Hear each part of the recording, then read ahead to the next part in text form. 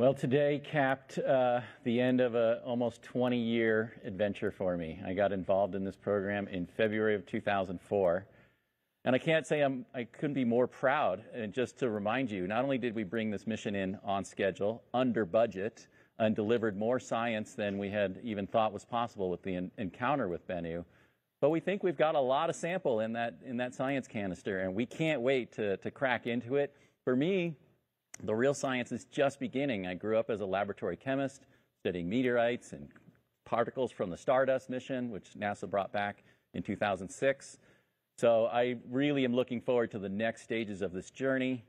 Uh, people have asked about, you know, the planetary protection. We did go through extensive planetary protection reviews. We were unrestricted Earth return because Bennu is a near-Earth asteroid.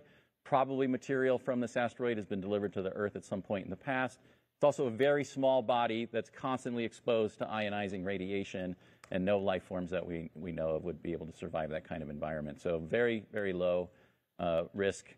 In fact, we're more worried about Earth biology contaminating the sample. The key objective for me, and one of the driving objectives of this program, is to try to understand did carbon-rich asteroids like Bennu deliver the compounds that may have led to the origin of life on our planet, the origin of Earth as a habitable world, and so we don't want biological organisms interacting with this, so we plan to exclude it from any contact with bacteria or anything else that might compromise our scientific investigation.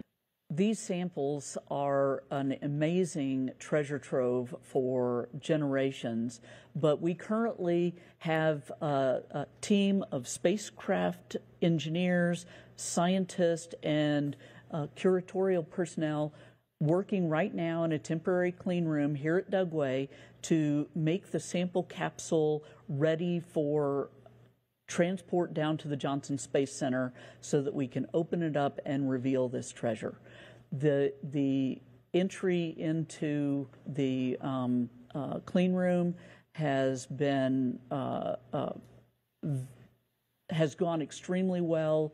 They're processing the capsule removing portions of the um, uh, canister so that they can get a uh, continuous flow of nitrogen into the, the sample canister to ensure that there is no contamination from Earth's atmosphere into that canister and maintain the pristinity of the, these samples so that our, uh, the science team, 200 plus people uh, all over the world uh, can start studying these samples.